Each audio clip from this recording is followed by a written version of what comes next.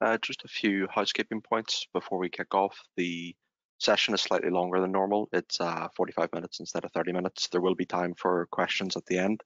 Uh, so if you want to, if you have any questions, you can pop them in the questions box in the control panel that you can see. Um, there is a copy of the presentation in the handouts box, uh, also available through the control panel. Uh, and Tom, if you want to kick off. Brilliant. Thanks very much, Cormac. And thanks everybody for uh, joining us on this global Snack and Learn webinar.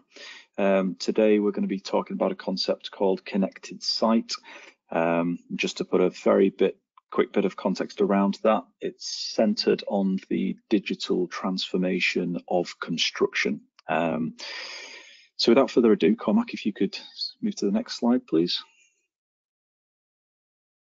just to, as a way of introductions. Um, so there's three of us presenting today. Uh, we'll each give you a quick overview of who we are in a second.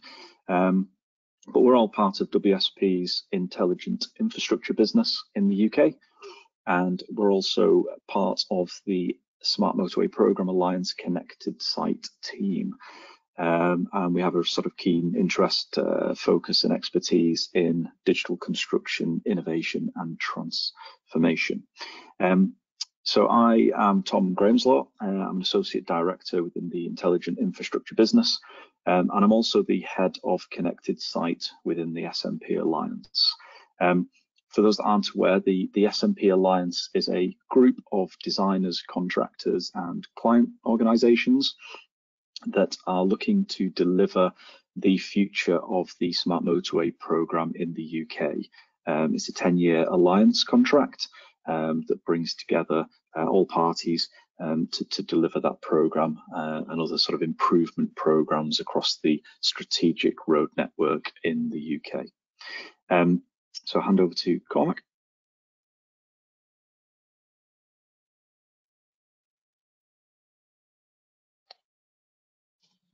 I think you're on mute, Cormac.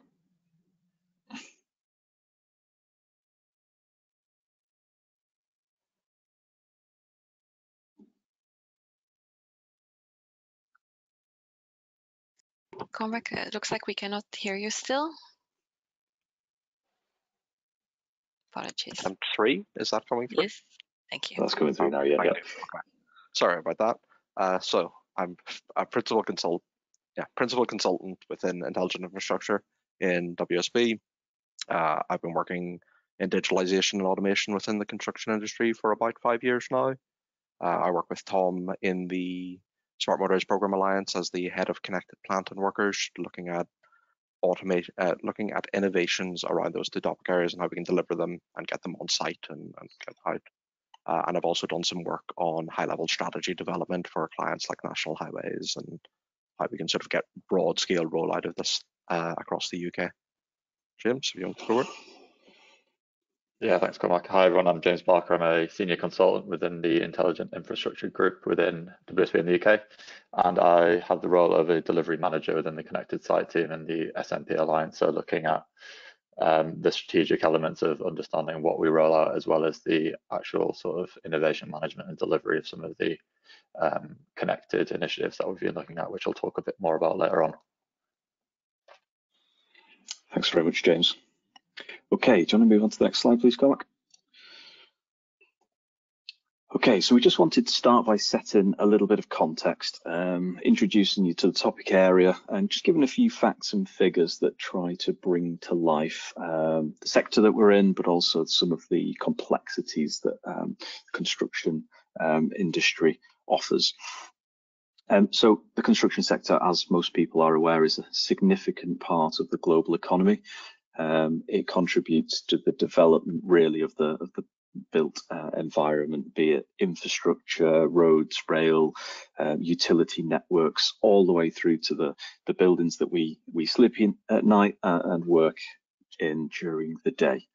Um, and it's quite a, a substantial sector when you look at the um, makeup of um, individual nation states. So if we look at the UK um, as a as a perspective, the construction sector contributes to around 6% of the country's GDP um, and employs around 3 million people. Uh, just to put that into context, Uh, we've got around 66, 67 million people in the UK.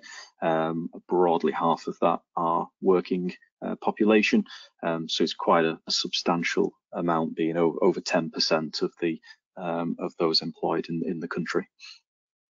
And the sector has quite a number of challenges, but similar to other industries. Um, you know, we've got the drive to hit net zero.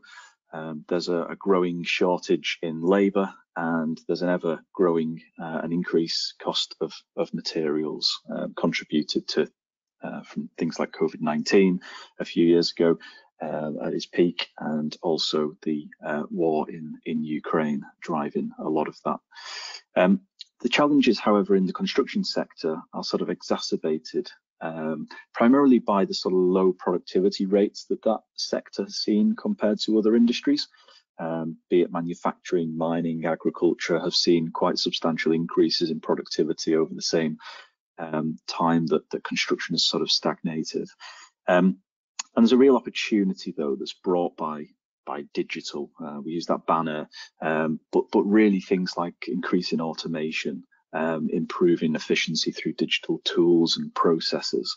Um, and it really does offer an opportunity to enhance the performance of the sector, of which connected site is a potential uh, concept that enables some of that digital transformation, really delivers that, that lasting change.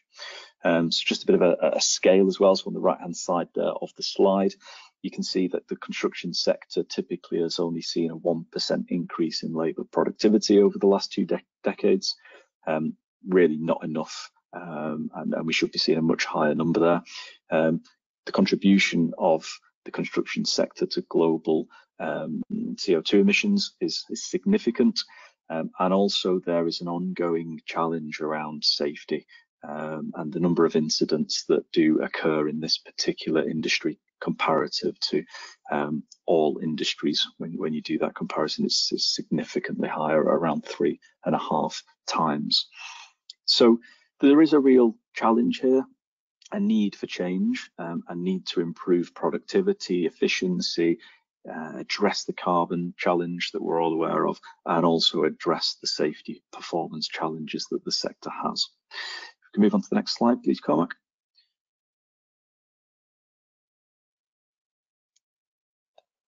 but it's not going to be easy. Um, and that's because really the, the complexities of the construction sector are quite um, significant.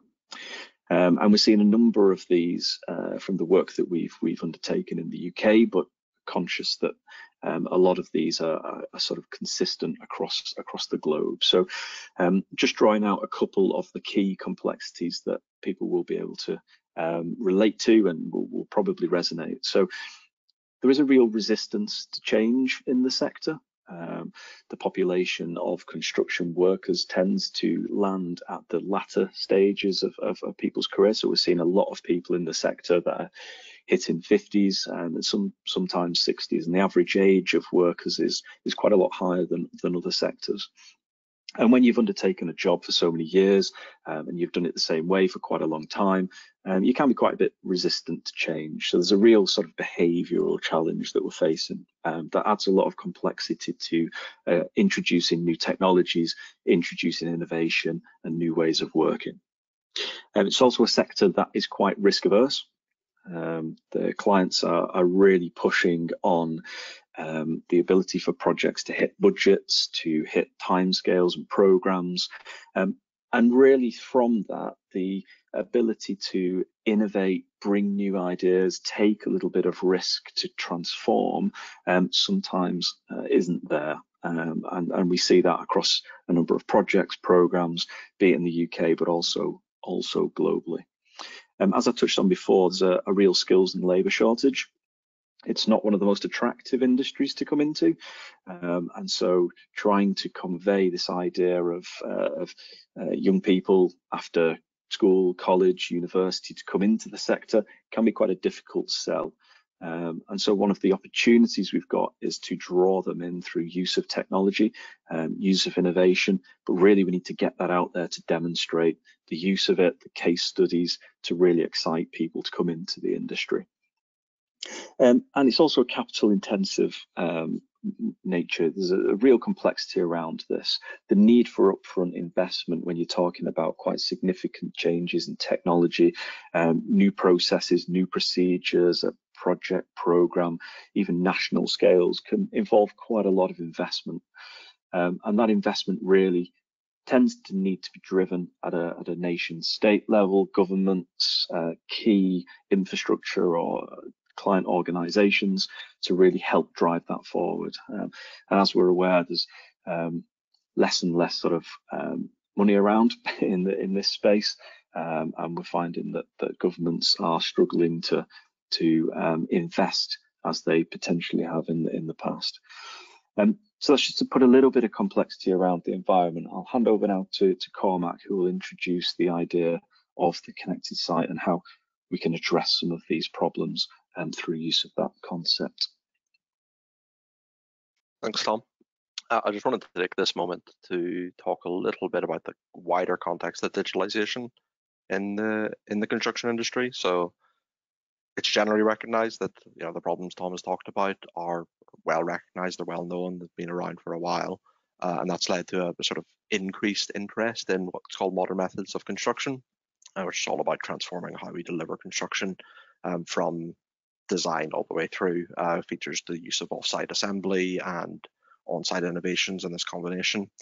Um, the framework that's shown below this seven stage picture was published by the UK government in 2019 and it sort of gives a good illustration of the breadth of topics included in, in MMC. Uh, and as you can see, Connected Site really is sitting at the end of that. We view uh, Connected Site as being the mechanism for delivering uh, on-site innovation and how you transform that within the sort of the wider uh, strategy that WSP launched in, in July 23 of, of how we're going to do that. So this presentation really focuses on on-site processes. Uh, if I just go to the next slide. So this slide is trying to set out a, a very high-level vision of what Connected Site is about. Um, the infographic on the on the right sort of gives a, a flavor of the different kinds of things that are, that make it up, and you can sort of identify four pillars almost that that make it up. So you've got the people who do the job, the workers who are who are carrying out the construction, the plant and the tools that they use to do it, uh, the materials that they they use when they're doing the construction, and wrapped around all of that is a big logistics and planning element about when and where things need to be and jobs need to be done. And Connected Site says that we should digitalize across the board, transform all of these.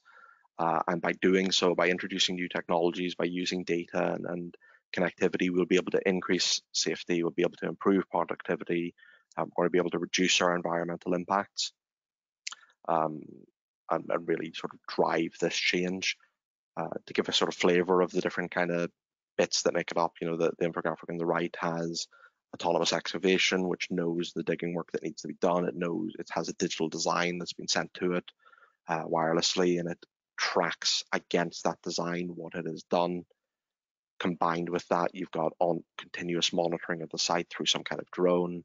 It's linked to uh, autonomous. It's linked to something like a dump truck or you know, vehicle to, to move the material around, and it's tracking that. So as it's piling up, as it's offloading, you've got a continuous supply and you know the movement of your materials throughout. And then there's the sort of safety element where your workers are, can be protected in a sort of combination of of digital and um, vision-based ways, and, and, sort of create a something that controls that people-plant interface. So just uh, drill down a bit more into how this sort of flows through. You start out with your digital designs, your your BIM uh, information model, which contains all of the information you need to, to do your construction, the complete set of your designs, and it's tracked. For a connected site to, to really function, we're saying that this needs to be moved towards a design for machines element so that the designs, the designs that are created are compatible with the machine being able to read them and interpret them as a continuous set of instructions for it to implement it. And so at no point should a human have to intervene to convert the design that we currently create for a really human-centric approach um, to be suitable for a for a machine to to execute. That data is transferred across to the machine. It starts to implement, or depending on the level of automation that's that's there, uh, it might provide guidance or support to a human operator to carry it out. While it's doing that, it's tracking the exact uh, as built information and is feeding that on to both a, a, sort of productivity and continuous monitoring piece, which uh, supports the quality assurance and sort of the handover piece, but also gives you the, the information you need to create a digital twin um, and and that have that as a legacy asset that goes forward into your into your maintenance and operations.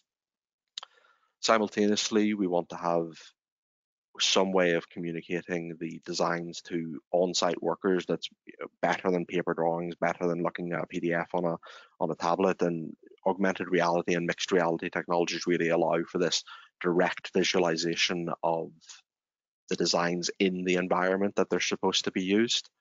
Um, this has been implemented and allows for you know two-way communication where workers on the ground can call up the designers, overlay the overlay the design in the real world environment and report the snags and, and work through a solution that can be updated in both ends and implemented and speed up the process. Um, simultaneously, you've got this continuous tracking um, of what you're doing through the drone, um, the drone monitoring, the drone surveying, which again lets you build up this 3D picture that evolves as you go through the project lifecycle. Yeah, uh, and then just as a, a bit more of a detailed example, if we talk about an excavation job um, where we're we're cutting a trench or we're, we're grading a, a, slope or whatever it might be, if you have a design for machines tool that allows that is implementable by a machine, it can be communicated wirelessly across. The machine starts to implement it, knows exactly what it's done, that means that you're avoiding rework, you've got improved accuracy of delivery, you're not having to, you're not digging in places that you shouldn't be and having to mitigate against environmental impacts. So you're speeding up your delivery, you're speeding up the, the process by which you carry out your construction. Simultaneously, you're getting that real world information that lets you go forward. Um, you've got a, a capture of the what you've actually done, which supports your quality assurance. It supports your handover. It helps you with your contracts if you have to. Um, if you get in an encounter dispute, you know exactly what's been done and you can point to it and have that digital record. Uh, and then use that, build on that information as you go forward into your, as the, the client goes forward into their maintenance and operation phase. Uh, I think, James, if we have some examples. Yeah, thanks, Cormac. So I'll talk through three different um, case studies of where we've been able to uh, introduce and deliver elements of the of the connected site. So, so all of these case studies are taken from our work within the Smart Motorways Program Alliance, which which Tom introduced earlier. Um, so as Tom mentioned at, at, the start, the Alliance really is quite sort of um, transformational in its vision for for this sort of thing. So um, by bringing together six different organizations across design and construction with a very long time scale in which to work in over 10 years with a, a large work bank to, to work through over that period of time, cost, adding up to multiple billions of pounds. Um, it really did allow a lot of freedom to work in this space and a bit of headroom really to, to make some real change. Um, so the, the Alliance sort of came to us with with a blank bit of paper really recognizing that they wanted to do something within this space, within the MMC and the digital transformation on site space, but without sort of dictating exactly which types of solution they wanted to implement. So it was up for us to to sort of work that out. Um, so, so the first case study is really around this strategic piece of taking everything that's available in the market in terms of digital solutions and tools and understanding precisely which ones we wanted to take forward to deliver within within our program of works. Um, so from doing that, it's, it's quite a, a, complex task in one, doing a lot of market research, so understanding the, the, the solutions and the suppliers that can help um, resolve some issues, um, but focusing more so on, on the problems themselves. So looking really in detail, talking across partners across the alliance to really understand what the key problems uh, were that they wanted to solve through introducing elements of the connected site and from that deriving what the most appropriate solutions would be within this space that we could apply to address them. Um, so taken from that, we built out a, a strategy document which worked through a number of different solutions that we could implement, assess them based on a number of different factors such as the maturity of the technology and whether that aligned with the timescales of the alliance.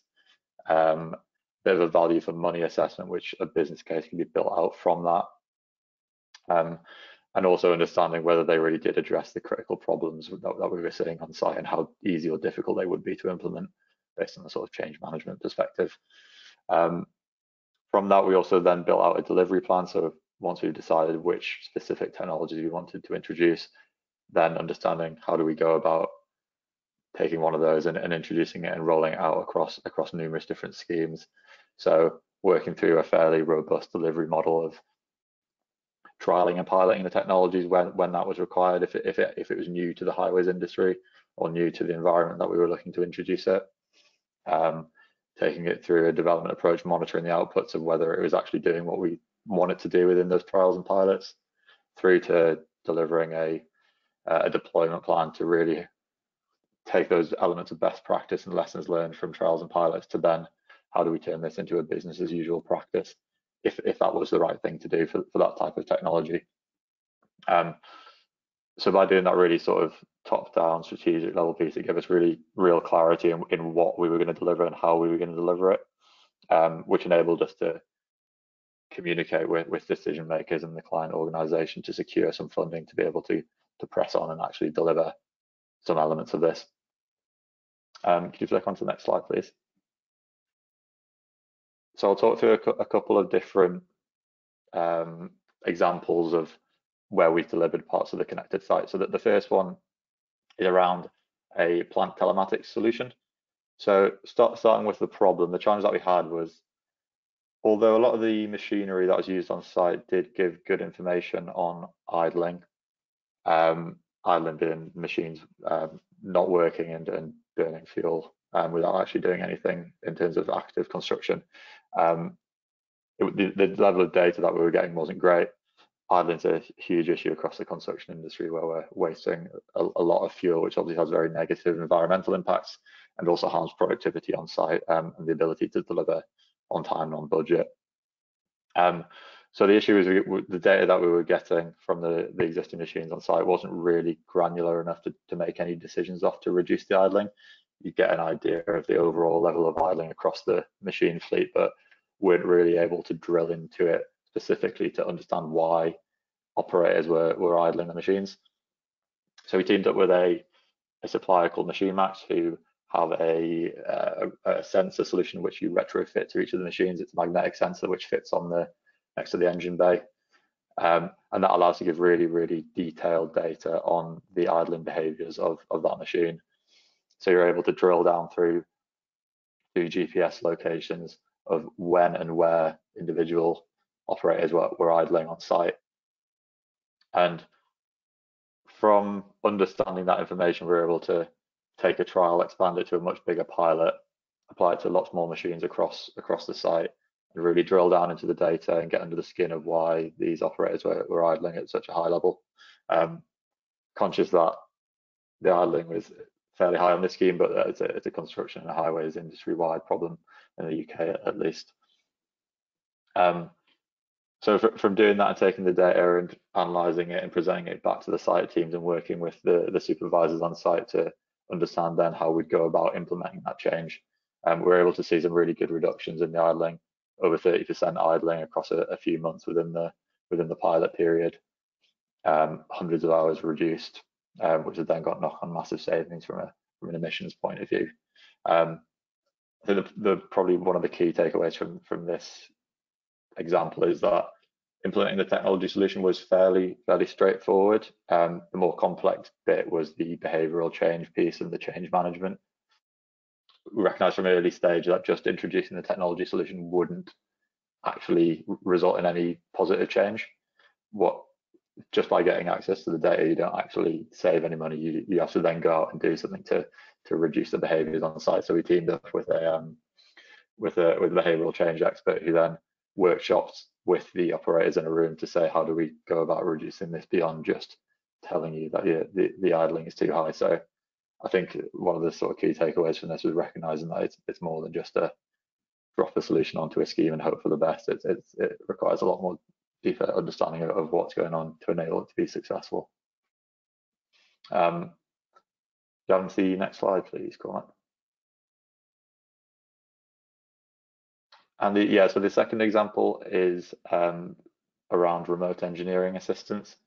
So the challenge that we had a lot on, that we came up a lot on a lot of schemes is access to specialist um, assistance while out on site, and that being a, a cause of delay and um, slowing down works and driving costs up.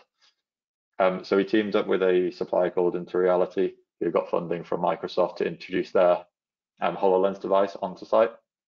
So what that, this allows you to do is, if a person on site is, for example, commissioning a roadside technology site, and they need to go through the commissioning exercise, and the person on the other end of the the phone traditionally needs to be able to see multiple different elements of the site at the same time as the person who's commissioning the site.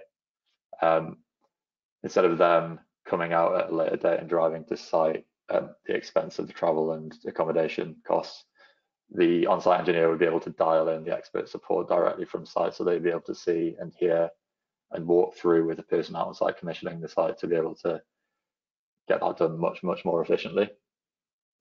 Um, so we, we, have undertaken a few trials and pilots of, of this on the M6 in, um, in, in the northwest of the UK.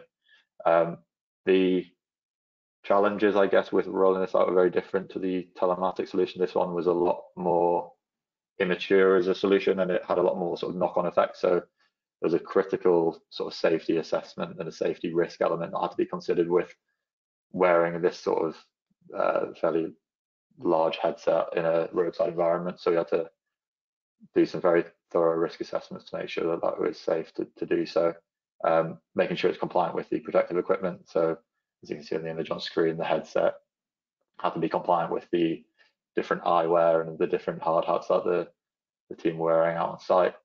And then also understanding the business case is a little bit more tricky for this because the baseline data that we were working with was was a lot less clear on on the existing situation and the existing cost of the of the impact. Um, so yeah, we've, been able to see some really good, really good results from this, reducing the number of visits to sites, the amount of aborted site visits that weren't able to be completed previously because they didn't have access to the expertise. They've all been reduced massively. Um, and there's also some, some sort of secondary benefits from the less the uh, reduced use of site vehicles traveling around site, which has some environmental benefits as well. Uh, I'll hand back over to Tom to wrap up.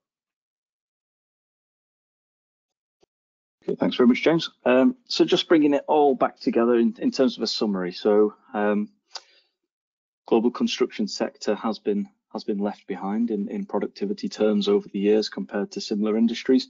Um, and it's really now that we need to take the opportunity to do something different. Um, and digital offers us that opportunity, digital transformation, modern methods of construction, um, and really driving forward, addressing the challenges, like James says. So mitigating those challenges, driving the improvements will really make the biggest um, change.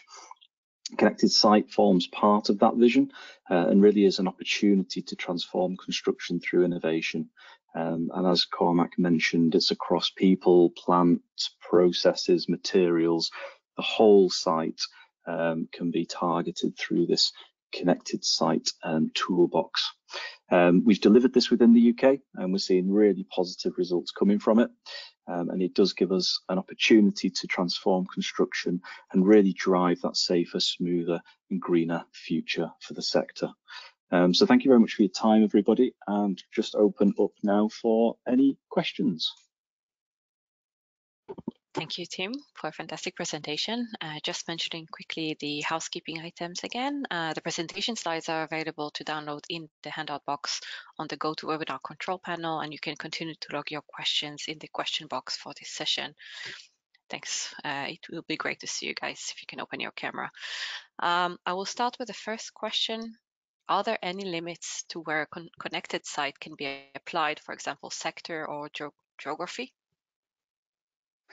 Um, I'll take this one. Um, no, not really. Um, I think one of the the real powerful points of, of, of this is that it's um, applicable to any sector. It's applicable to any type of construction that you undertake. And it's really, like James said, about identifying the challenges, matching the um, appropriate innovation, new technology, um, making better use of data in particular areas to address those challenges. So um, no limits. It's uh, it, it's it's a, a, solution that sort of delivers against common problems across the globe um, and also across the different types of construction environments that we see. Thank you. Next question is, what does the future look like for connected and automated plants? Yeah, I'll take this. Um, so I think if we if we look at what's happening in CAVs, we can see that it's going to there'll be a lot of parallels to draw. Um, but we need to be really cognizant of the fact that construction happens in a much more complicated environment than CAVs drive on roads. It's it's much harder. The where they're operating is much more variable. You need to be basically construction happens in an environment which isn't designed for construction to happen in, whereas roads roads are designed for cars to be there or vehicles to be there and that opens up a huge range of problems. So it's going to be a much slower and a much more iterative journey i think than, than the one the CAVs are experiencing.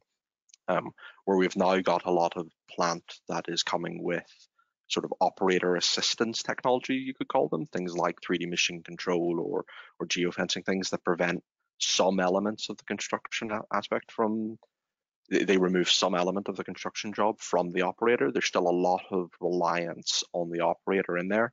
I think we're just going to have to iterate through that, evolve up in more and more tasks getting handed over from the operator to the to the plant. But it's a slow iterative iterative journey, uh, and it's going to start with the simplest types of construction. So things like excavation or compaction. There's a lot of progress already being made in those whereas more complicated uh, pieces of construction, assembly of, of multiple objects and things like that, automation isn't as, as focused there, and that's where the, the off-site assembly uh, really benefits uh, things. So it's it, that's where connected site sort of integrates with the the wider MMC piece. Um, so I think it's a slow iterative journey. Uh, we may in the in the sort of 10, 15, 20 years see fully automated construction equipment going on, but I, I wouldn't expect that to be rolled out in wide scale use anytime soon. Thank you. Um, is connected site an isolated solution or does it interact with design, operation and maintenance phases of the project lifecycle? I'll take that as well. Um, so if you, if you start with sort of the simplest approach, yes, it's all connected because there's a continuous thread of data that runs throughout the project lifecycle. So obviously you've got a digital design in the design phase and that gets fed through into the connected site where it's implemented. Uh, and then the connected site sort of feeds back and creates an updated as built design that goes on to a digital twin or or whatever it is for design uh, for maintenance and operation, operation and maintenance. Um, but you get more links, more feedback between them as well. So when you introduce automated plant, you might be able to do a design which humans can't really implement, or you know the use of MMC lets you do a design that you wouldn't be able to do uh, with traditional construction machine, uh, traditional construction methods. Um, and so there's a sort of two-way communication between those. Uh, and then when you go to the design for when you go to the maintenance and operation, obviously if it's a new construction site, any kind of construction site you can apply the connected site stuff onto, as, as, Tom said. So that applies equally to maintenance and renewals as it does to a greenfield, brand new new build. So I would say those are the big links. Uh, and then the final bit I think to mention is obviously pieces of the technology can get transferred across. So if you've got something like uh, a drone survey is a big piece of connected site where you, you do these continuous drone surveys. Obviously, if you want to do those throughout your project lifecycle or through your asset lifecycle, it'll provide you with a continuous or periodic updating of, of your asset condition as well. Thank you. The next question is uh, some comments and questions together. I will read it as is. Uh, as you identified, isn't the issue more behavioral rather than technological? And how do you solve that? Especially as the need to change is more seen as an office issue instead of a site issue. I'll pick that one up. Um, yeah, so, so the the bit around the behavioural change and how do you solve that? Um, we were very quick to recognise that as people with, with, the jobs that we've got in terms of introducing the technology and coming from the expertise in the digital and the connected environment, we shouldn't be the ones that are dictating to those on site how to change their behaviours. That's not one we have the expertise to do that, and two, it's not it's not the right thing to for us to be able to sort of telling them to do that. Um, so we left that very much up to the the work superintendent on the site to manage the messages and the the information that we gave them to be able to make an informed decision on how to enact some behavioral change.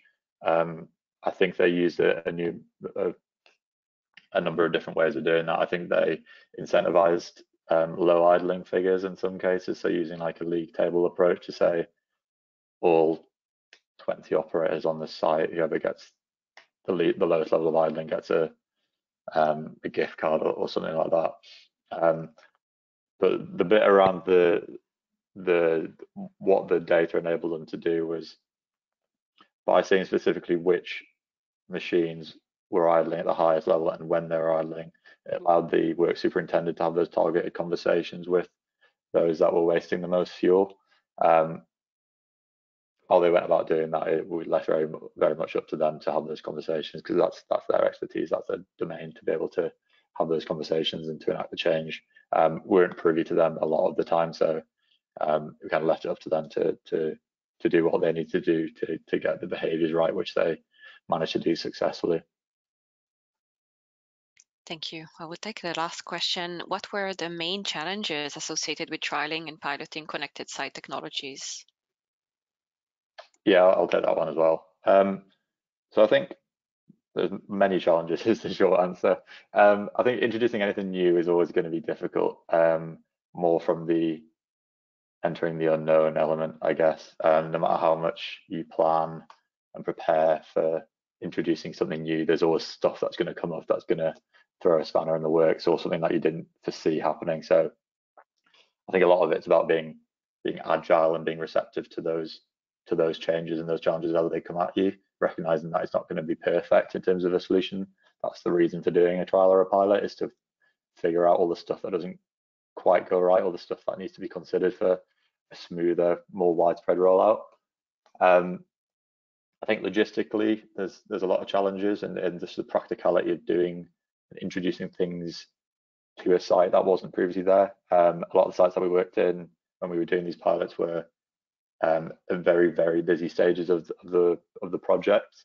So trying to get the time of the right people at the right time to be able to, for example, install the sensors, um, manage the movement of sensors when the plant was getting off hired versus when new machines were coming on site.